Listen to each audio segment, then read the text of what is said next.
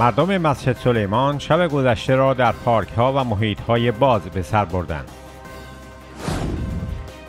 آژانس بین المللی انرژی اتمی تایید کرد رژیم ایران از سقف تعیین شده برجام عبور کرده است. دونالد ترامپ و امانوئل ماکرون درباره برنامه اتمی رژیم ایران گفتگو کردند.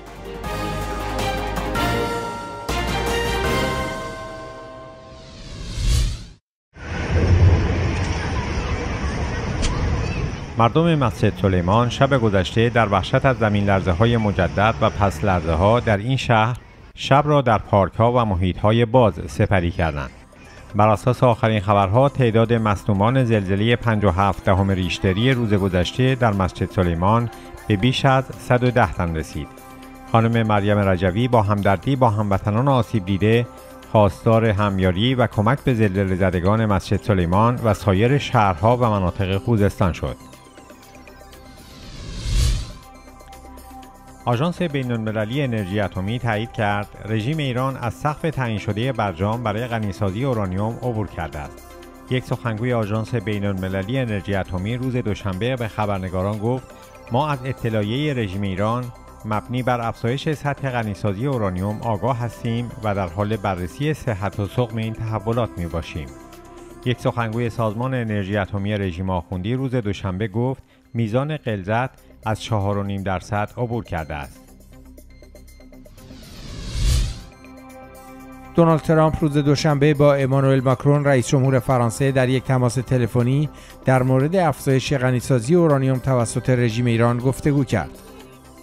سخنگوی کاخ سفید در بیانیه‌ای در این باره اعلام کرد ترامپ و ماکرون در مورد تلاش‌های جاری برای تضمین اینکه رژیم ایران به سلاح اتمی دست پیدا نکند و به رفتار بی‌ثبات کننده‌اش در خاور میانه پایان دهد گفتگو کردند.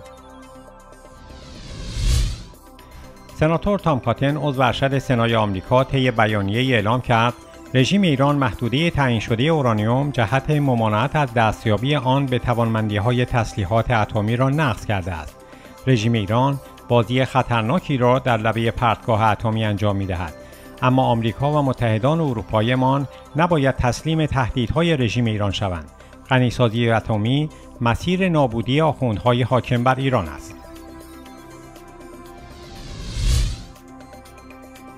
دادگاه عالی جنایی امنیتی دولت مصر طی حکمی پنج نفر را به جرم جاسوسی برای رژیم ایران و تلاش برای ضربه زدن به ارتش و مواضع سیاسی و منافع ملی مصر به 25 سال و یک نفر را به 15 سال زندان محکوم کرد. به گزارش از شرق الاوسط این افراد با مسئول پرونده مصر در سپاه پاسداران رابطه داشتند و اطلاعاتی درباره اوضاع داخلی مصر به وی می‌دادند.